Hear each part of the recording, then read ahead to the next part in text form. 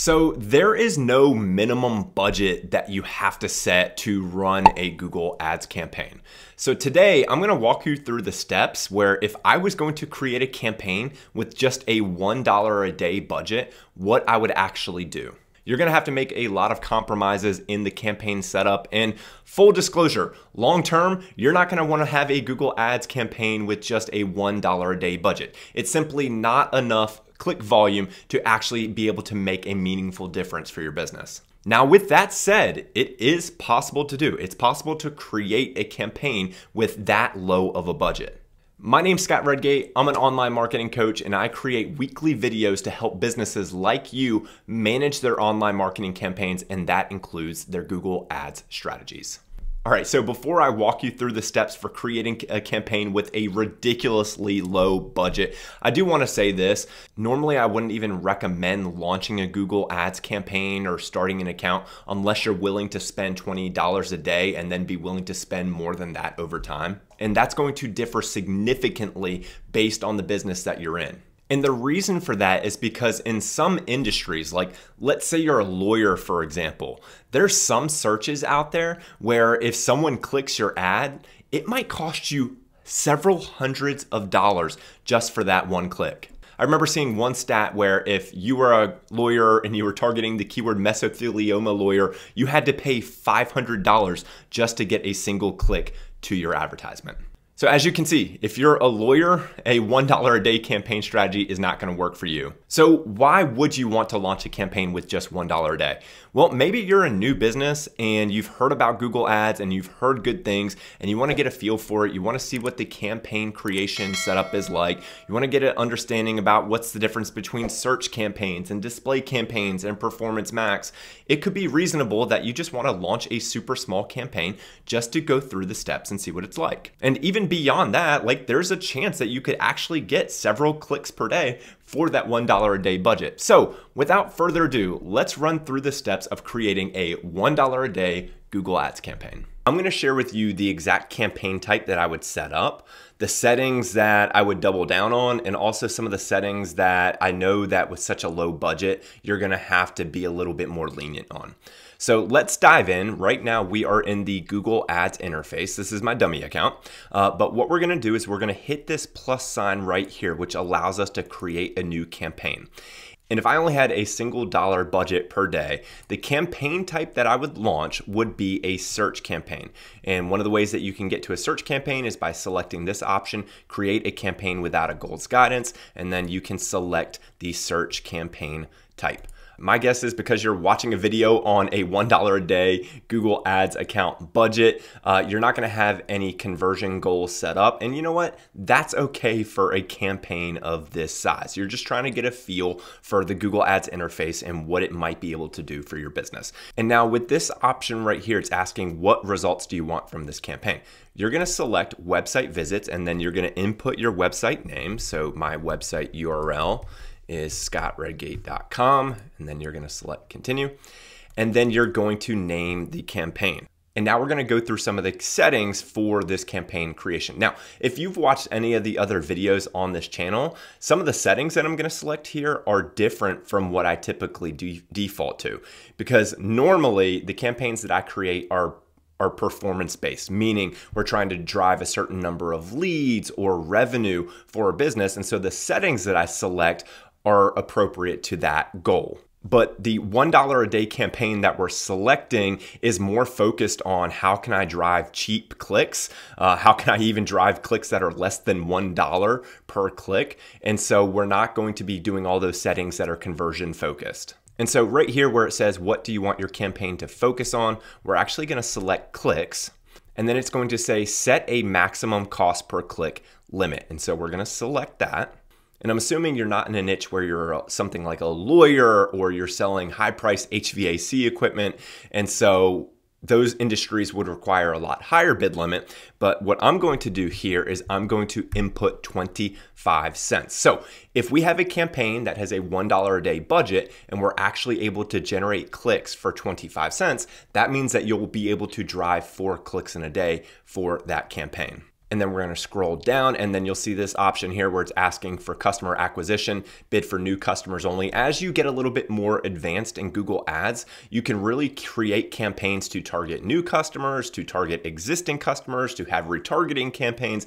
But for this campaign that we're walking through, this $1 a day campaign, uh, we're not going to pay any attention to this one and we're going to select next. All right, so next up, it's asking us what networks we want our search campaign to be on. All right, so it says the search network, and then it says, do you include the Google search partners and the display network? Do you want to include the display network?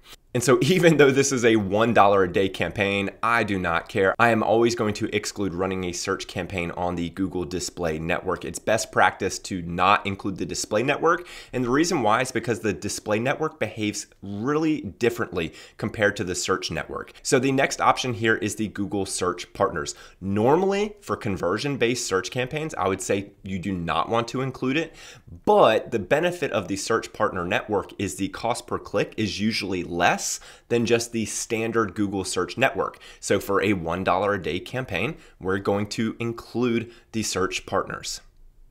Okay, so next up we are at the location setting, and so select the location.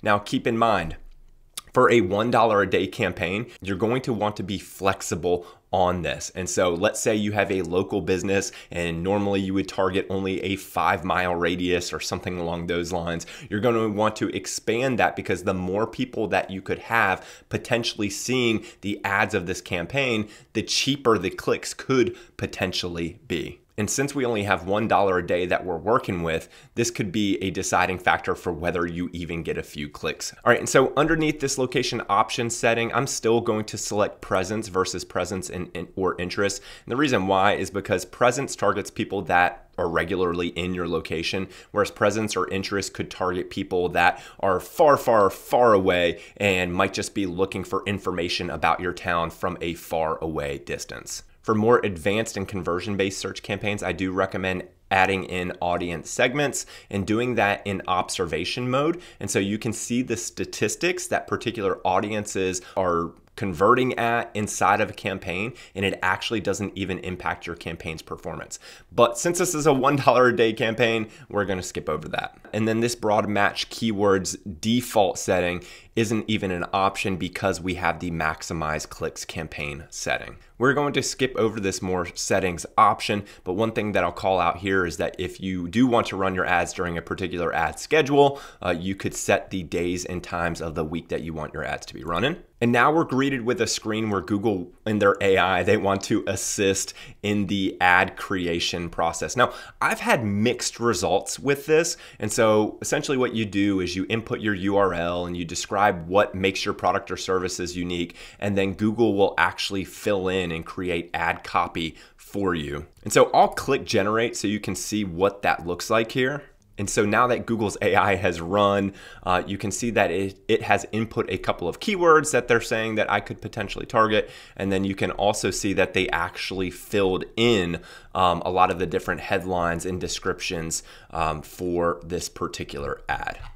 And so for this video, we're not going to create an advertisement. Uh, you can run through and you can see the recommendations that Google has. And for conversion-based search campaigns, I do recommend taking some time, seeing what the competition is including in their advertisements, using other AI tools like ChatGPT to really help you refine and get good headlines and descriptions. But we're not gonna do that today. So the last thing that I wanna share with you is the keywords option. So there are three keyword match types that you have. Google gives you broad match, phrase match, and they give you exact match. Yet again, I have another video all about broad versus phrase versus exact. But something that I want you to keep in mind is that broad match is going to be the least expensive of all the different keyword match types. And the reason why is because with broad match keywords, Google will show your ad to people that are typing in search terms that can be pretty far away from the keyword that you actually input. So, for example, let's say you sell basketball shoes and you input the keyword basketball shoes. With broad match, your advertisement might show for someone searching something like sandals with a basketball logo on it. Obviously, that's not the intent of what you input. You want to show your ads to people that are searching for basketball shoes and basketball sneakers. But when you have broad match and it's not conversion based, so you don't have a target return on ad spend set or a target CPA, Google can go pretty far away from what you actually input as your keyword if you have it on broad match. Now, I will say that Google has gotten better over the years with that. And so the example that I gave with the sandals, that might be a stretch, but you can get the idea that if you select broad match, it's going to be the cheapest in terms of the cost per click that you actually pay, usually, but your advertisement might show to search terms that you really didn't want to appear for. But since this is a $1 a day campaign, every penny counts. And so we are going to use broad match as the match type because quite frankly, you might not even get a single click if you have exact match as your keyword target. It's going to be just too limited for you. And so continuing to use this example with basketball shoes, we're going to want to input more keywords in here. It's going to be crucial to include more than just one and the reason why is because if you just have one, again, you're limiting the options for who Google could potentially show your ad to. And the more limited you are, the more expensive it's going to be. And since we have such a limited budget, uh, that's not going to work. So I'm going to go into Google Gemini and I'm going to input this prompt. I'm going to say, give me 20 keyword ideas in Google Ads surrounding basketball shoes. And you can see that Google was able to give me about 20 keywords here. So I'm gonna go back into the keyword section and I'm going to paste them in. Now, for your business, obviously, your keyword list is going to be different unless you actually do sell basketball shoes. Um, but you can use that same process where you use Google Gemini.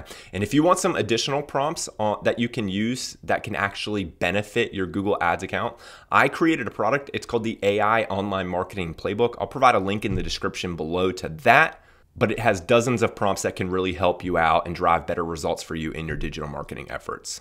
Okay, so now that we have our keywords, and as I said, we're not gonna run through the ad creation process, I'll just take Google's word for it. We're gonna select next, and now we are at the budget screen, and so we're going to set a $1 a day budget.